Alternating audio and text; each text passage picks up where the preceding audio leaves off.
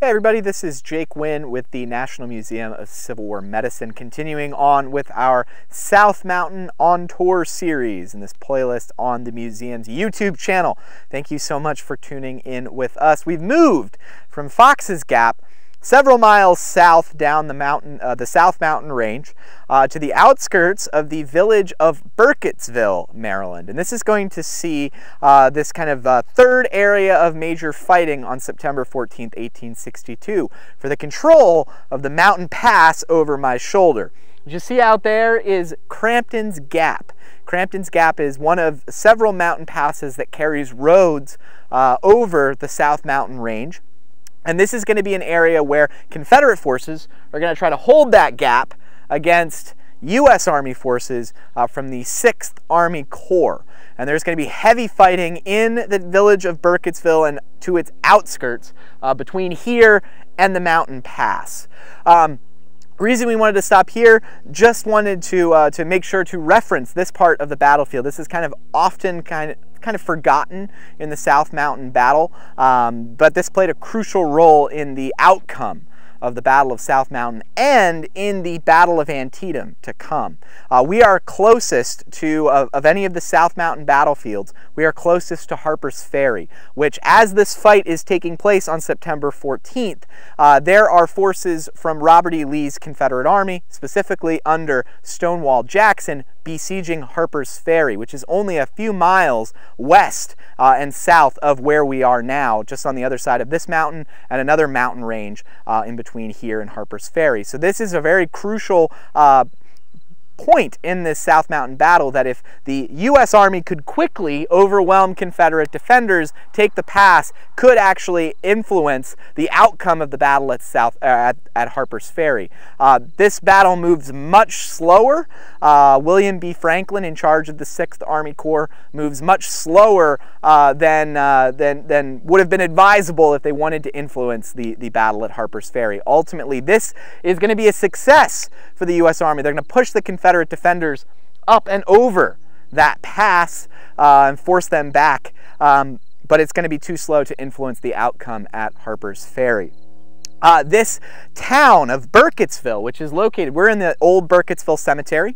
Um, over here, you can actually see one of the church steeples uh, from uh, Burkittsville. So we're just on the uh, outskirts, the northern outskirts of the town.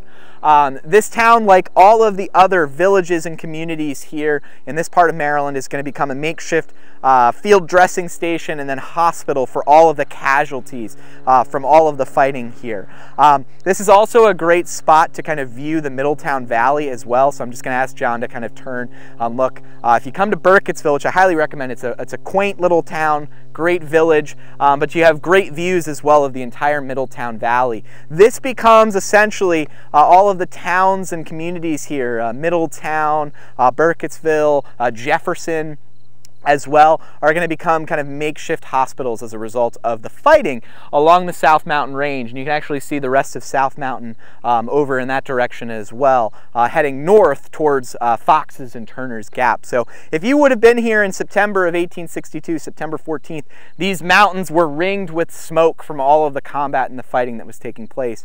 Uh, and Burkittsville, like the other villages, is going to become kind of a makeshift hospital. Uh, this is the kind of first step in the Letterman system of getting casualties from the battlefield itself uh, into uh, these makeshift hospitals in Burkittsville and Middletown. From there, uh, the casualties are going to be transported over the next mountain range, which you can see out there. Uh, that is the Catoctin Mountains. Um, and on the other side of the Catoctin Mountains are the villages and communities around Frederick and Frederick, Maryland itself. And Frederick is going to become the main hospital depot for the United States Army in the aftermath of this battle. Hospitals established there before the Battle of South Mountain by Jonathan Letterman, medical director of the Army of the Potomac. We're going to make a stop in, uh, in Frederick at the conclusion of this series of on-tour videos. We'll talk a little bit about uh, how all of the casualties were brought from places like Burkittsville and Middletown to Frederick, where they're ultimately going to be cared for. About 8,000 to 10,000 patients will pass through the city of Frederick. So that's going to bring an end to our uh, short little foray to Burkittsville, Maryland, to talk about Crampton's Gap and the fighting here, and the casualties uh, that were transported through this, uh, through this community on their way to Frederick. Uh, thank you so much for watching with us. Uh, you can give us a thumbs up if you enjoyed this video and the others in the series. Please subscribe to our channel as well. You can find a subscribe button in the lower right hand corner of your screen. Uh, you'll get notifications about upcoming videos in this series and otherwise and become a member of the National Museum of Civil War Medicine and support videos like this. This is Jake Wynn with the National Museum of Civil War Medicine. We'll see you next time.